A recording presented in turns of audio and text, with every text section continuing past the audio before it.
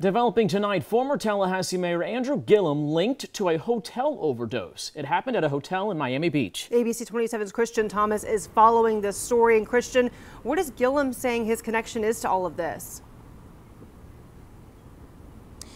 Gillum says he was helping a friend in that hotel room where first responders were called. Here's what a report from Miami Beach says happened.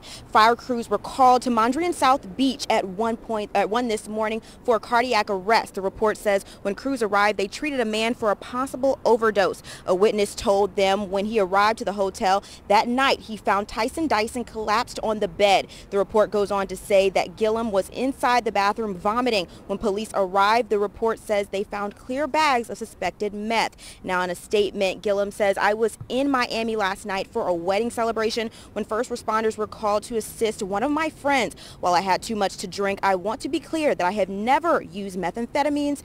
Methamphetamines, excuse me. The state goes, the statement goes on to ask for privacy for his family at this time. Now, most people outside the Big Bend know Gillum for his time running for governor. Now, despite his time out of politics, his name has been thrown around as a possible VP choice for Elizabeth Warren. Now, Tremel Gomes says this is not a good situation.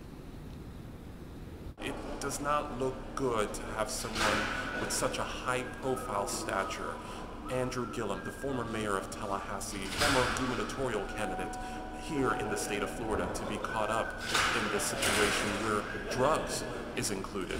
Uh, methamphetamine is suspected to be involved in this case. And